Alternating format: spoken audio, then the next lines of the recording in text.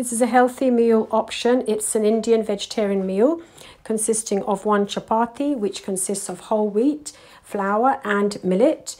Um, there are various millets, and the one this chapati contains is called ragi. Um, all millets are good for cholesterol control and for blood sugar control. Along with this, there's a bowl of pulses, cooked pulses. There's some vegetables cooked in the form of an Indian dry curry.